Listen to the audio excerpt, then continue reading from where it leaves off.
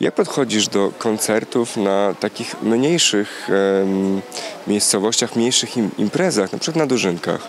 Sama jestem z mniejszej miejscowości i takie miejscowości są cudowne, taka publiczność jest cudowna i wydaje mi się, że ta publiczność jest bardzo spragniona zabawy i bawi się naprawdę bardzo dobrze, także dla mnie to jest niesamowita przyjemność, kiedy takie miejscowości odwiedzam.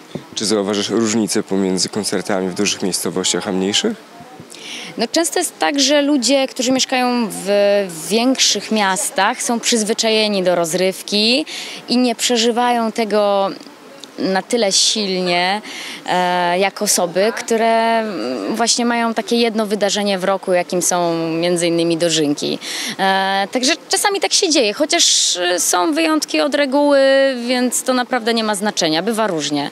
Czyli wychodzi na to, że lubisz śpiewać na Dożynkach.